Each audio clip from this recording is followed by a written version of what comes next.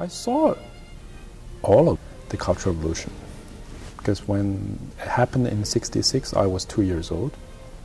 But you know, you, you, I saw red guards climbing from balcony into my home, and I was home with my nanny and my brother, and the red guard, probably only six, 16, 17 year old uh, high school student, with the hat, and banner, and knock on the French door, and we opened it. He said, "Where's where's uh, my father?" And I said, "Well, he's out of town."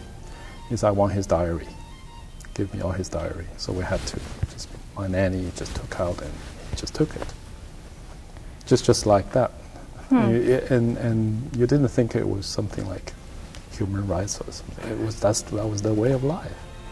Uh, both of uh, my parents were classmates from 1951 to 57 at the Shanghai Conservatory, and both their uh, violin teachers um, got killed.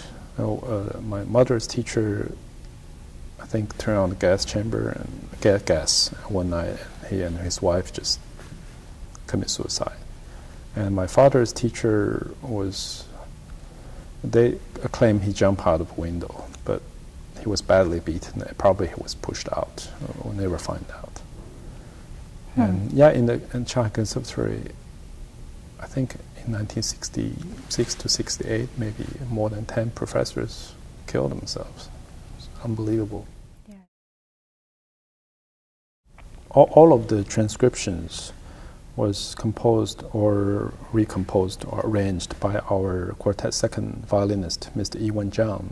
And then about maybe six, seven years ago, um, we already have a pretty vast re- uh, standard repertoire in our hands, and we were had the kind of luxury or the time to look into not so standard repertoire. And he uh, also felt all those music we grew up with, and then after we left China, sort of you want to get away from it because you heard it so much, and it's, it's a lot of uh, you know, revolutionary, you know, very Chairman Mao, this communist party, High that, energy. high energy, and yeah, you're so tired of it after heard it for 20 some years.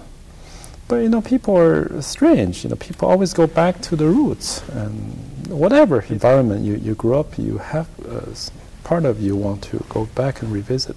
It's interesting, actually. One once uh, when the CD was released five years ago, one of the major music uh, magazine had a huge article, and this uh, reviewer was saying the more he listens to it, the more troublesome he felt with the Chinasong because he said, "How can such a devastating period in China, how can people have like beautiful music? It should be just bitter, angry music."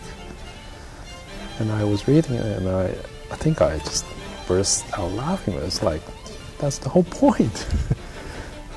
you know, you you people actually really need some pretty music to to get away from all this nonsense.